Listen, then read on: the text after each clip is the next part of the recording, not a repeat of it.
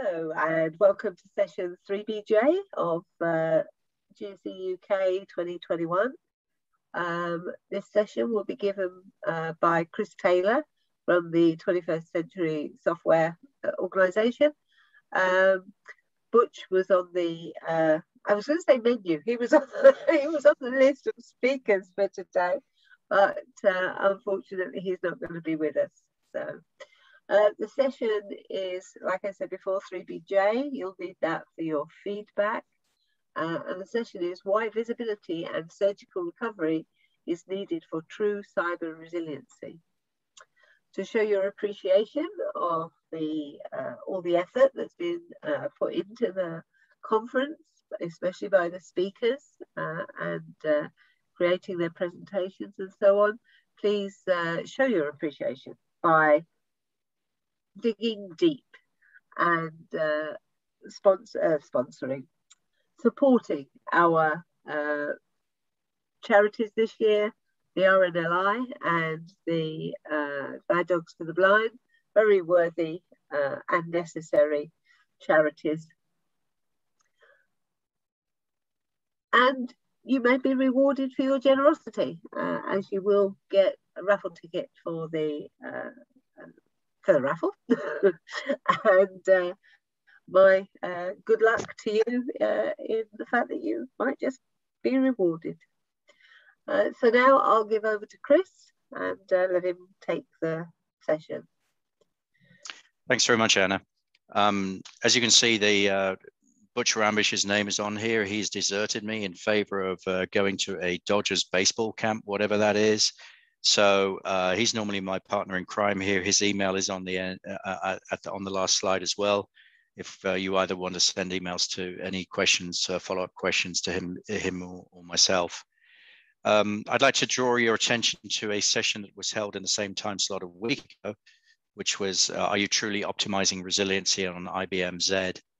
With, um, with the whole question of resiliency, IZBR, which is what I'm, I'm going to be focusing on today, does do a lot of different tasks uh, around resiliency. Um, we're going to be focusing largely on the Cyber Vault and safeguarded copy solution today to talk a little bit more about that. But uh, if you want to go back and look at some of the other features that are available in IZBR, then uh, please go and listen to the recording from the session last week. So as far as resiliency goes, without tooling, um, and, and a lot of companies have gone through this kind of uh, exercise, and unfortunately, it's not something that's controlled. It, uh, it happens unexpectedly. That's uh, kind of the nature of the beast. And um, what we're trying to demonstrate here is to show you know, some of the things that you need to take into consideration if you're performing resiliency without any form of tooling. So, you know, you then need to call out the applications and you, you, you then start to get uh, into what they call a war room which is basically where everybody huddles, everybody speaks very loudly, everybody, um, you know, basically tries to work out how to do this. And then, you know, they need to work out exactly what do they need to recover, what other applications are affected. Then, okay, let's go out and find the JCL where that might be. Uh, you know, how, where do I find the JCL to actually recreate a data set maybe? These are all the kind of things that, oh, I can't find the backups that I'm looking for. Let's go and find out if HSM, for example, has a backup or in our case, we're going to then look into how we can use uh, Cyber Vault or, or, safeguarded copy backups for this for this thing. Then go through it again and hope that you have run it correctly. And what I mean by that is is basically, um, you know, we've we've heard of cases where customers have gone through the complete process again, only to find that not the correct uh, data was recovered, so they have to go through it again. And in some cases, and the, the, the example that we heard from one of the customers was the fact that they had to then actually bring extra engines online to their to their Z machine because because they had to run uh, multiple cycles, batch cycles in a single day. They had to run their regular batch cycle as well as go back into the past, uh, you know, and, and run the, the one from the previous two days. So they had to bring extra engines online, which of course costs more money. And, and, and hopefully you get the right data so that you can uh, get back online as quickly as possible. Time is the enemy. You know, the difference between an, uh, an incident and a, a catastrophe is time. You know, since if it's only uh, if something only happens for a couple of minutes, then you, it may be just a blip on the radar. But if something takes hours, then that's something that possibly the whole world is going to hear about via Twitter and things like that.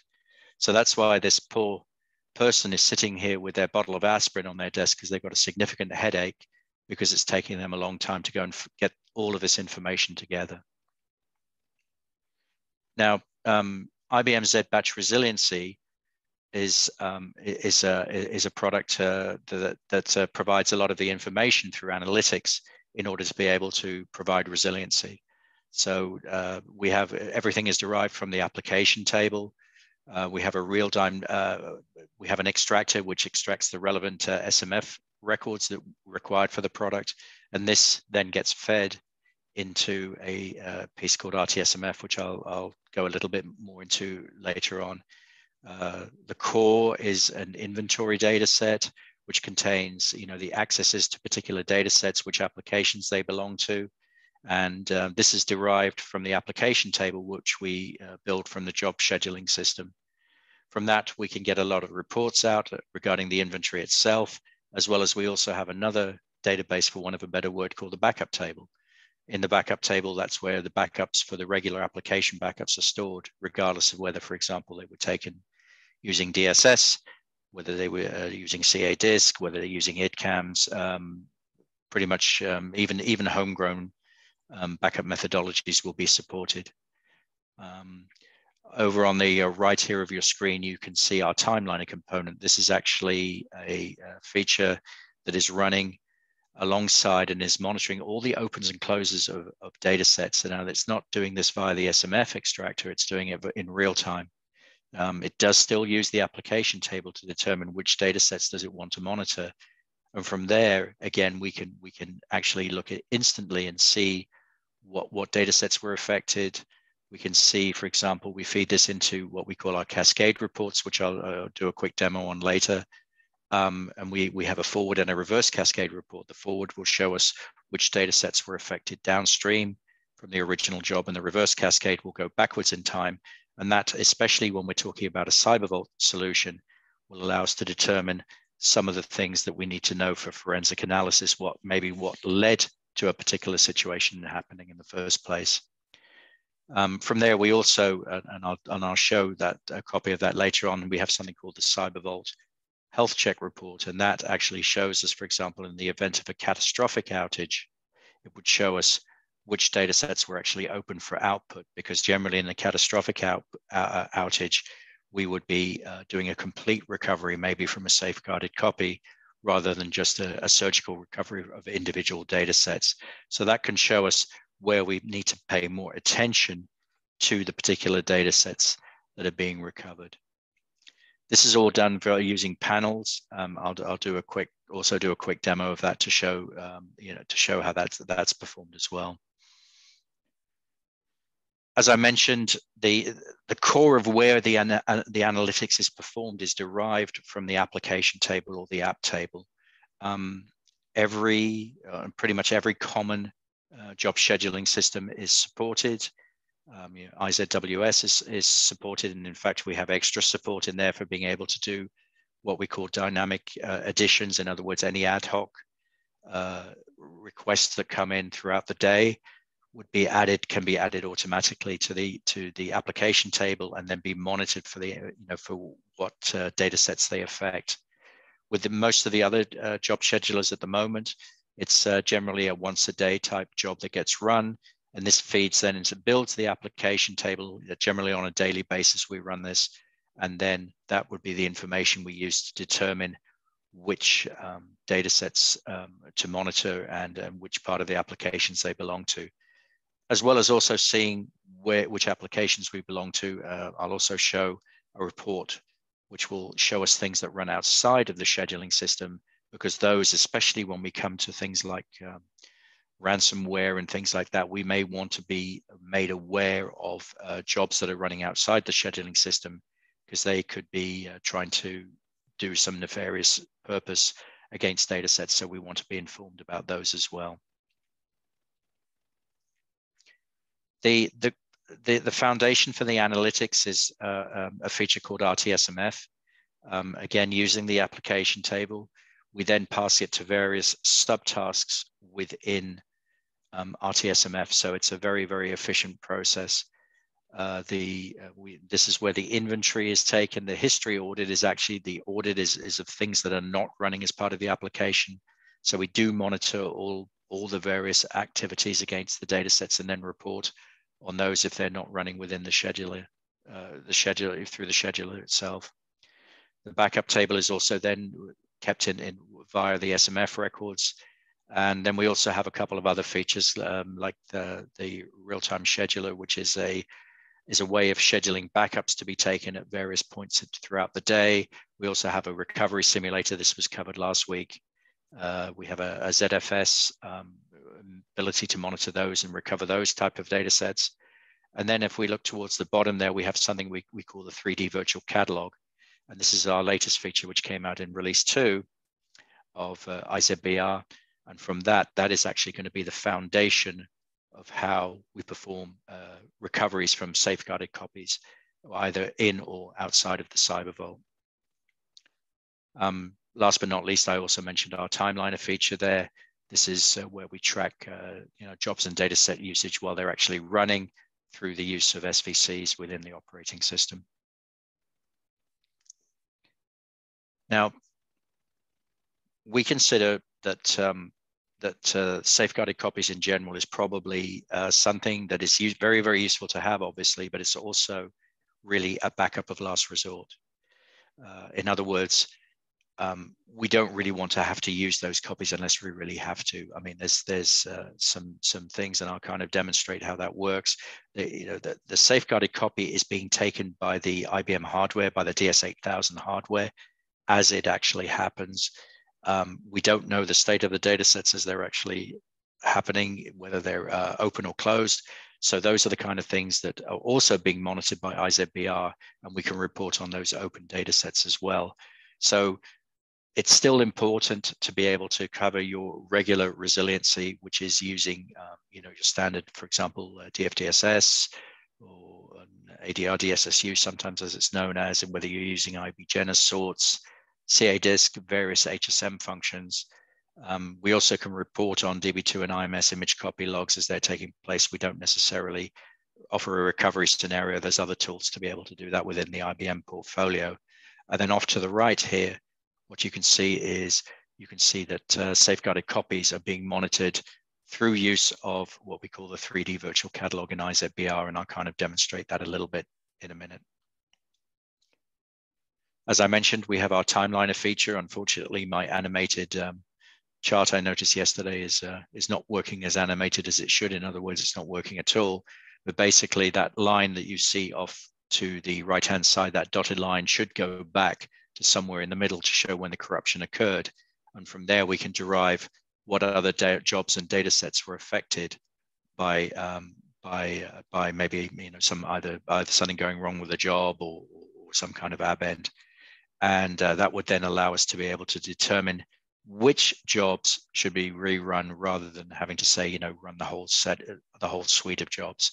We can see which data sets are affected, which data sets might need to be recovered, also you know and as i say just basically only run the jobs that are necessary to be able to you know to get a more complete situation.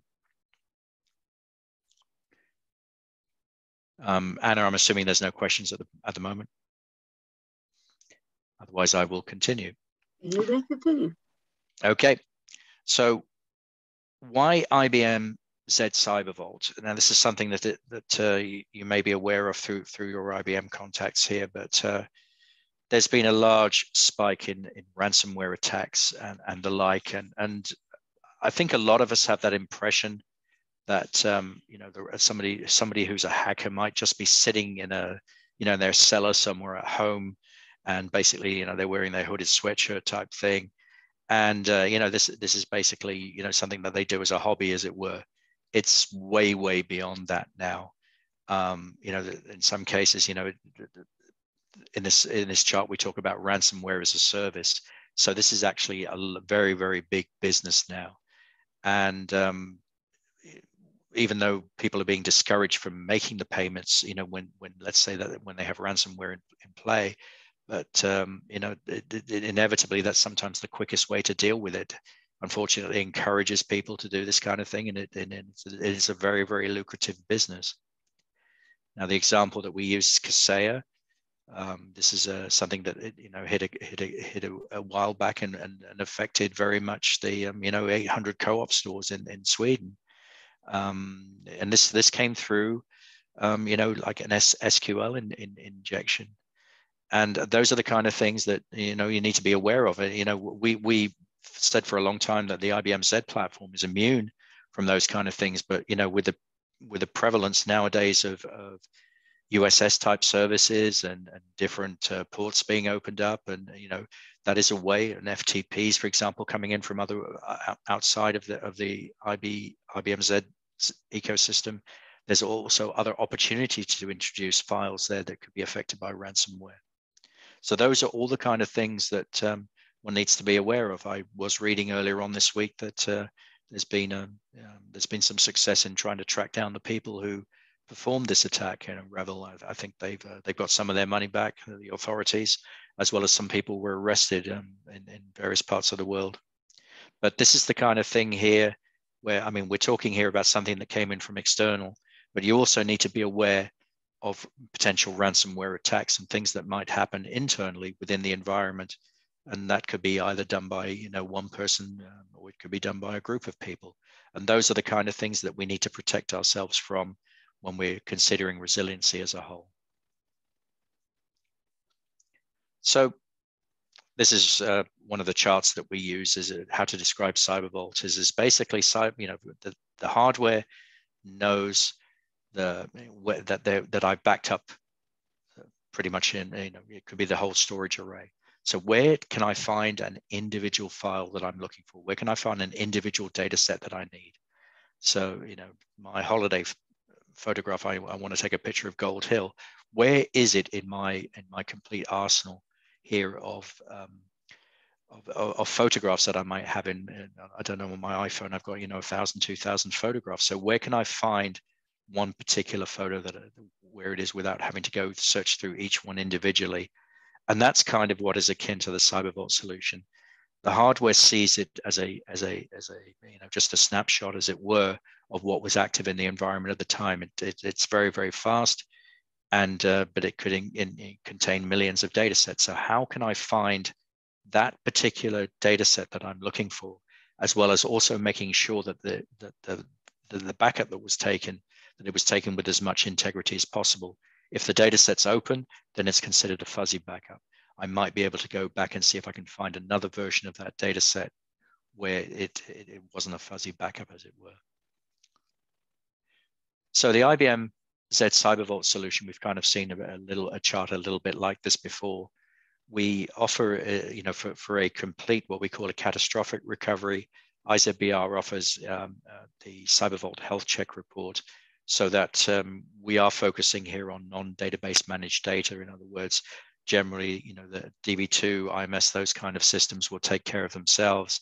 But We're really looking out for the other, you know, the, the other hidden heroes here, which is things like, uh, the, you know, the VSAM datasets as well as the sequential files or non-database managed data that is open for output here using a combination of that as well as the timeline, uh, you know, reverse cascade and forward cascade reports, we can start to do some forensic investigation as to maybe where the source of the corruption occurred or how we affect that. The reverse cascade is used more actually to find source, and you can do this within the cyber vault and, and then actually, you know, try to find out exactly maybe where the malfeasance occurred in the first place to lead you to this. It may not be a ransomware attack. It might just be an application outage, but sometimes you need to determine, is it you know what is it before we can continue and try to, to try to uh, repair the damage? And this is all that can be done in the cyber vault which would then be completely disconnected from the production environment. You know see which of these data sets are, are critical make sure that we, they can be recovered and then do that in a simple manner via an ispf interface. And as i mentioned here the forward cascade report will then be can then be used to develop a forward recovery plan to um, you know to continue running the business. We generally talk here about these are the stages within what can be performed within the cyber vault. So data validation, those are kind of things that happen on a regular basis with the application so that they can make sure that they're recoverable. That's not something that you always you do immediately at the catastrophe time. You do that ahead of time to make sure that you have a solution where you can do recovery from.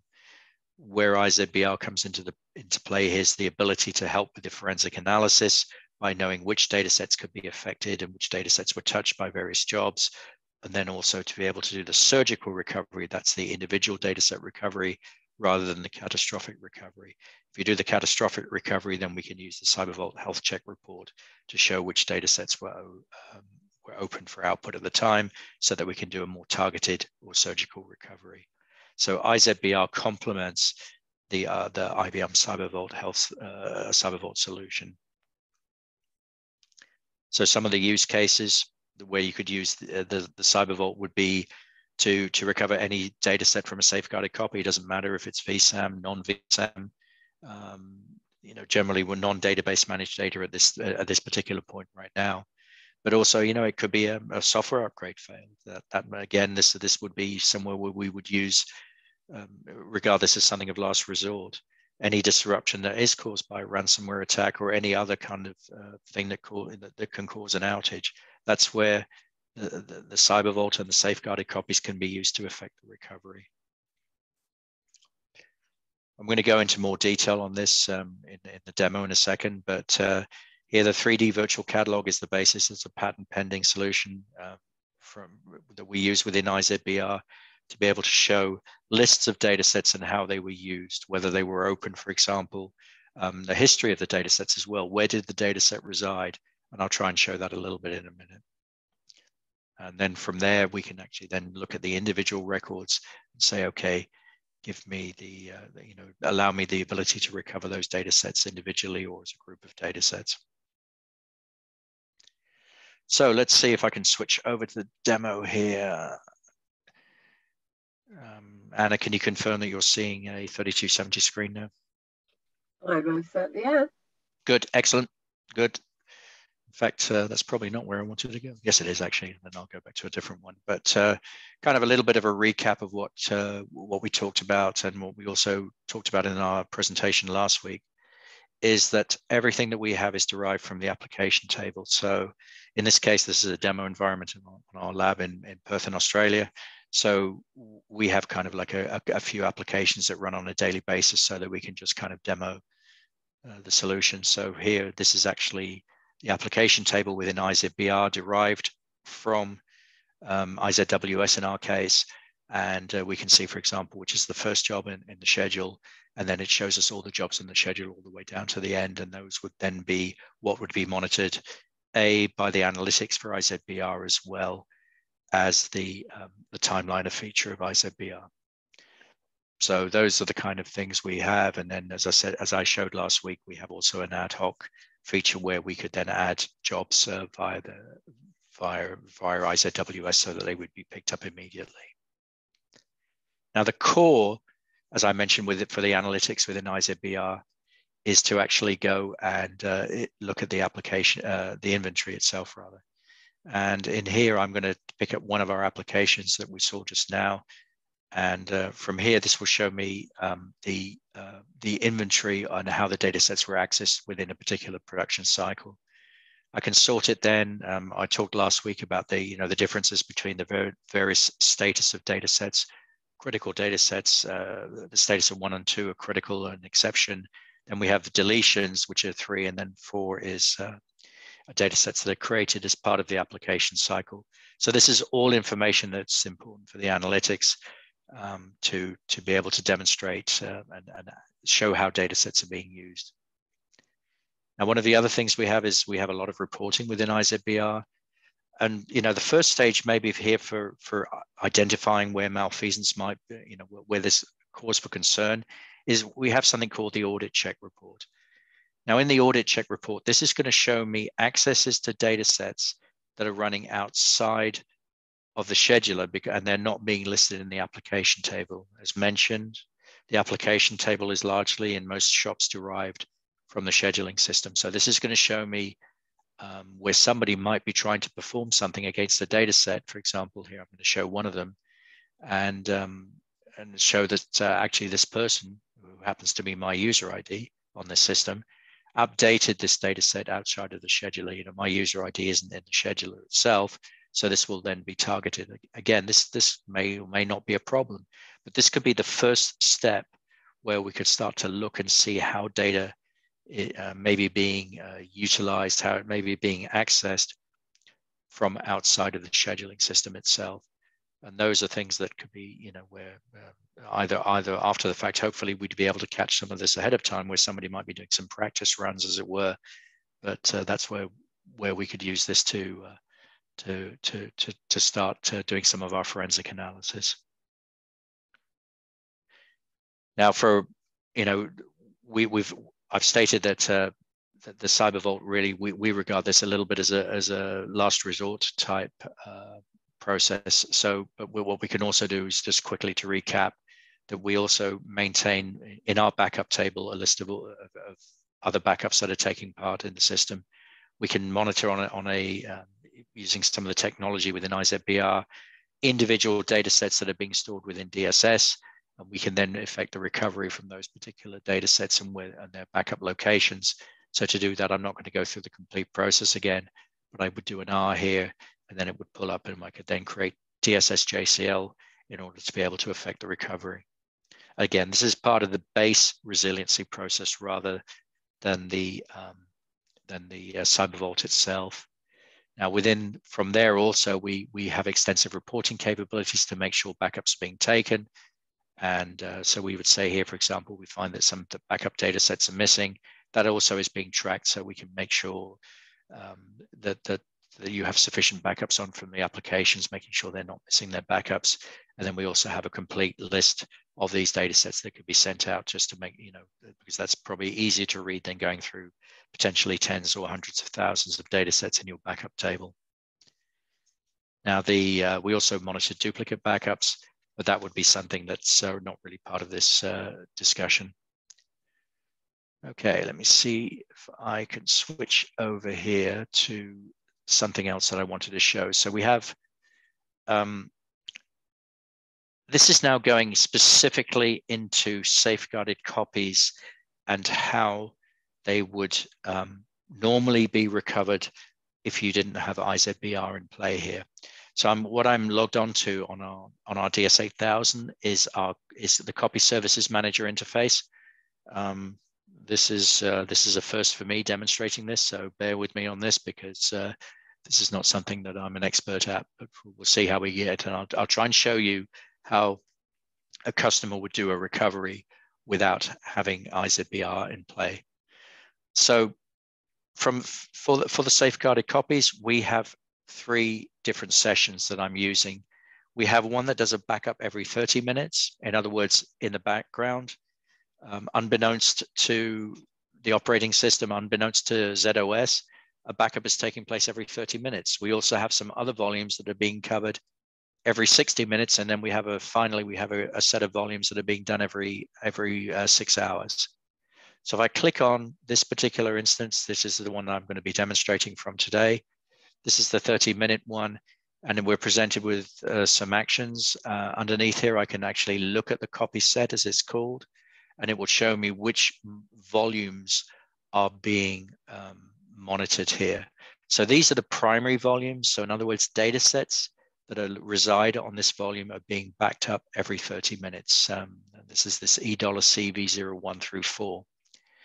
Now, when this gets defined within Copy Services Manager, one also needs to then um, uh, define recovery volumes. And th these would be volumes where when the recovery takes place, they would be recovered to these volumes. And there's a one-to-one relationship. Uh, they can be space efficient. In other words, it doesn't have to always be a full capacity, but uh, that's more something specific to the DS8000 where you can then say, okay, I'm only going to really use the space that I really need to use on this. So if I go back to the previous set here, uh, what before I do that, I'm going to hotkey back over to my uh, ISPF session, and I'm going to show you what the what the recovery volume looks like now. So as I mentioned, we have E dollar CV01, and here I'm going to show you what's uh, well what's on, uh, well, actually I can show you CV01 first, and you can see there's a group of data sets. Now these are being backed up and being put into safeguarded copies and would be available then for the Cyber Vault. Now, if we look at the recovery volume right now, there is nothing on there because it's uh, basically waiting for, for input as it were. Now in the background here, what I can do from, um, from the copy services manager, and this is how you would do a normal recovery, is I can then look at all the copy sets that are available. I can select one of them and I can say effect the recovery. So what's happening here is you can see it's running at the moment. And then when this completes, this is this is now taking place on the DS8000. When it completes, it, it's uh, now uh, available. Now, if I go back into 3.4 and look at the recovery volume, you'll now see there's data sets on the recovery volume. Now, if you also look down, if you're familiar with things like VTOCs and also with uh, VVDS data sets that uh, contain VSAM volume information, you'll see here now that even though I'm on RV01, it actually says CV01. It is now looks like the original volume now, but the data sets that are on these volumes are not cataloged to this volume. They're cataloged to the original volume. So any other activity that you would need to take place after this would need to be done performed by the user or you know by by the customer to be able to then reconstruct the data sets, for example, recatalog them. In the case of data, uh, VSAM data sets, make sure you recatalog the components correctly. That would all be something that would need to be done manually. So this is generally what you would use more for a catastrophic recovery, as it were, because the um, because this was you'd also have your catalogs alongside that, so that would be something then when everything would line up and, and would be used for catastrophic recovery, and then you would then use certain pieces just to um, you know to to fix individual data sets. I'm now going to terminate that relationship here within um, within uh, safeguarded copies. So when this is finished and we go back onto that RV01 volume, it's now gone back to what it looked like before. It's, it's not a permanent implementation. But one of the other things that I should have pointed out here is, is that all of those four volumes, when I do that, would have been recovered as well. In fact, let's do it because it's fairly quickly. But uh, all four volumes here, when I do a recovery of a particular backup, all, all the volumes in, a, in, in that particular copy set would be recovered at the same time. So as well as RV01 or CV01 that, that, that was being recovered, we'd then also be able to uh, recover all the other volumes. And that's not a choice. So if you have a copy set that has a thousand volumes in it, all of those volumes are going to be recovered within the DS8K. So that's an example there of, of, of how other volumes, even though I'm really interested, let's say in data sets on one of those volumes, this is actually, um, you know, recovering everything. Now, how can we make things easier there using IZBR? So from within the IZBR interface, I'm going to drill down to our, if I get the right screen up here, I'm going to drill down to using our safeguarded copy option number 12 here. And this would be the first instance of how we look at the uh, 3D virtual catalog. So from in here, um, it, it's a 3.4 like um, syntax. In other words, you know, uh, you're using your standard syntax that you would use in 3.4. And from here, what I can see is I can then drill down a little bit more and I can look at the uh, data sets where they where they maybe resided before. Now, unfortunately, uh, something's just rolled off here, so all our history is gone. That happened more than 14 days ago. But under normal circumstances here, I could look at the history and see where a data set may have resided in the past. For example, um, until this morning, what happened is the data sets were residing on a different volume. I moved them about two weeks ago, and then I'd be able to see the history of those so that we could say, you know what, do I want to take the version that was created on this volume or do I want to go back to a previous version?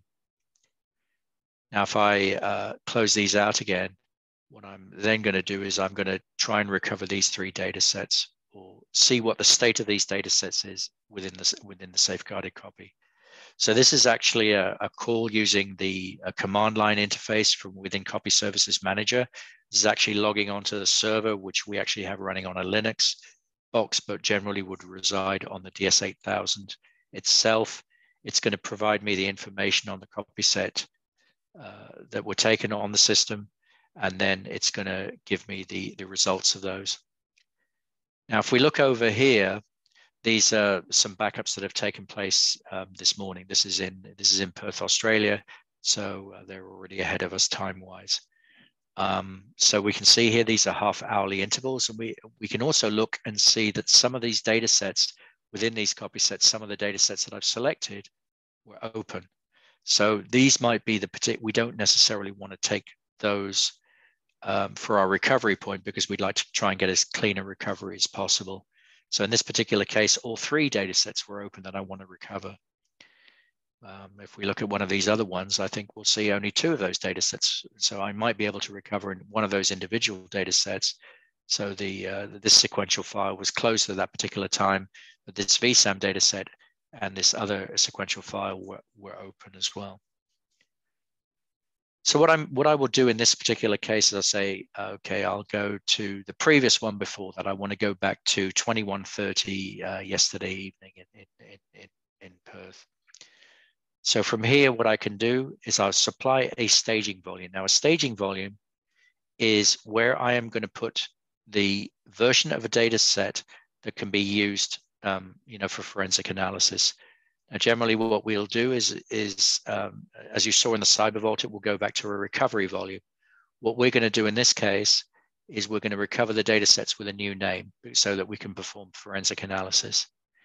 You know, where this resides, whether it resides in the Cyber Vault, which is air-gapped and disconnected from the primary site, or whether this is available to the production system, that is entirely up to the user how they want to do that.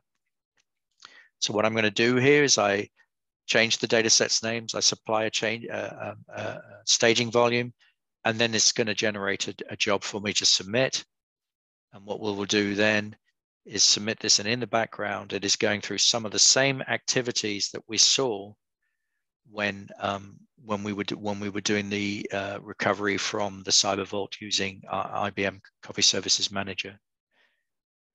Now, if you look at this, if you were to look at this RV volume again, it would be empty because basically what we've done under the covers is to actually affect any recovery necessary and then release the volumes again. But from here, we can see, um,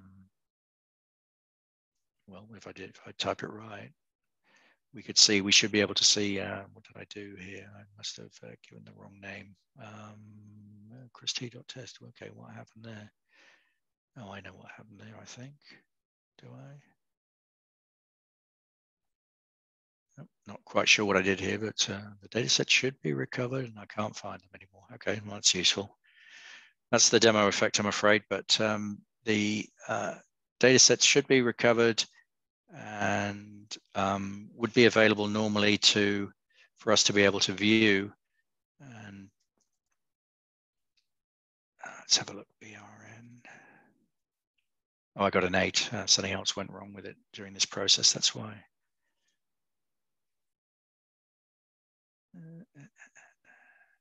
Nope, says recovery is already active. So I, I think maybe um, something went wrong when I didn't release it correctly from when we did the cyber vault. So yeah, that might be a problem there. That's uh, something caused by the uh, by this previous activity I did here.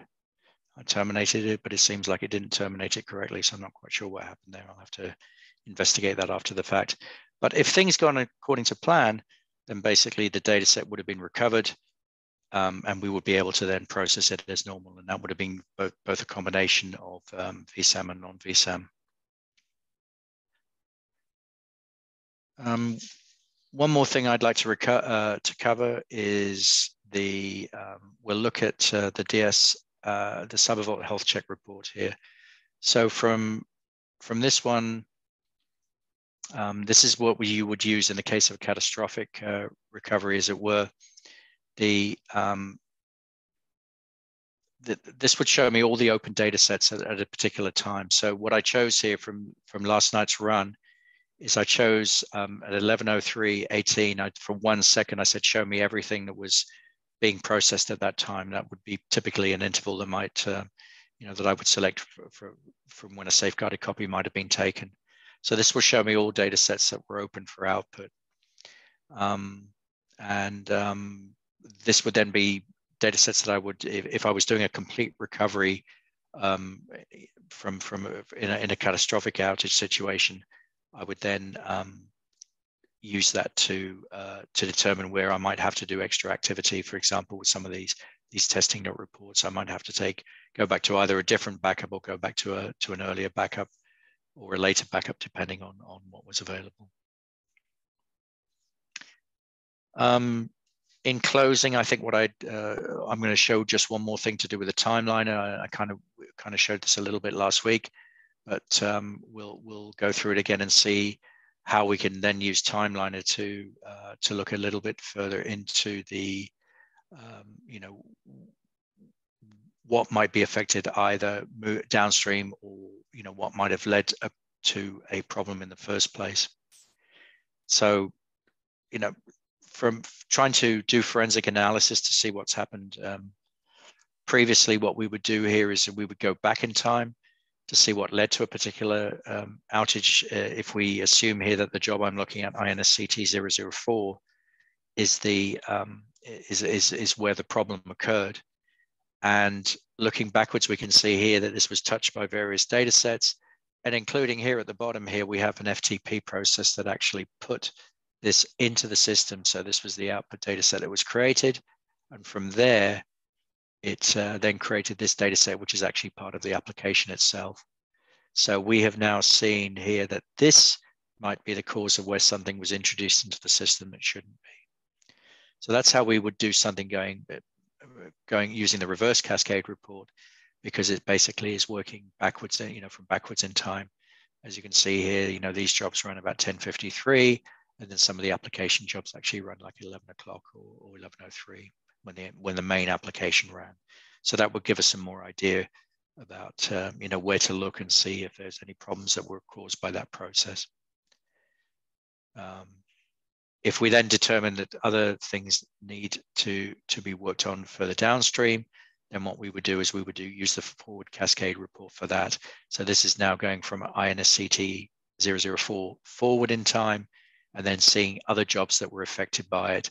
In other words, we're still using some jobs here within the INSCT application, but then we can also see here that another application, the DDA application, is um, is also affected by by some of these um, by, by this input. So those would be the kind of things that we would then need to further determine what would need to be rerun in order to uh, to make sure that things are brought up to speed. I think that's everything that I wanted to show today. I know it's a little bit early, but um, I think it's the last session pretty much of the conference. So I want to give a little bit of time back. Um, I'm not sure uh, if there's any questions at all. Um, there are no questions in the chat, but I will uh, allow people to unmute themselves. So if you do want to talk to Chris, um, you may unmute yourself and do so. Uh, yeah, after this, there is only the wrap up session.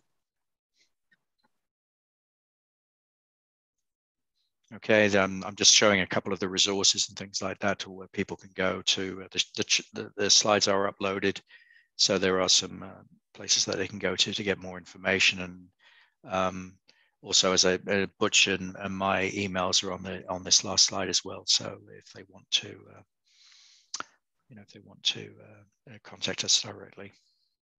Okay, so no one's taking advantage of the fact that they can unmute themselves nor uh, writing in the chat. So um, I will just go on to remind you to submit your session feedback. This was session 3BJ. Um, when you're answering the questions, um, about the uh, session, the feedback session. Uh, note that one of the questions uh, looks like it might be number two. Uh, was the length of the presentation correct? Five would be the correct answer. One means it was too short. Nine means it was too long. Okay, so we get a lot of nines on that particular question um, quite quite obviously uh, just not having read the scoring system. So please be careful with that question. Um, also, uh, the charities, dig deep. This is your pretty much your final opportunity to thank everybody uh, involved in the conference, especially the speakers, by donating generously to our charities, uh, Guide Dogs for the Blind and the Royal National Lifeboat Institution, uh, both of which are uh, performing essential tasks um, as charities. Uh, you may also think about becoming a member of the GSE. If your company is not already a member of the GSE, then uh, you could see whether they are uh, interested in becoming members. There are obviously some benefits to that. Um, so uh, you can look into that. Uh, you can find out a lot on the GSE website. Uh, and we already, sorry, we also have quite quite newly individual membership. So if your company doesn't like to be a member, you can be a member yourself. Um, okay, uh, I don't think there's anything else to cover. So just thanks to everybody for attending. Thanks to Chris for presenting. Uh, uh, good luck to Butch on his uh, baseball camp. uh, uh, so, um, but but on that point, I guess uh, good night and goodbye to you all, and uh, hopefully see you next year.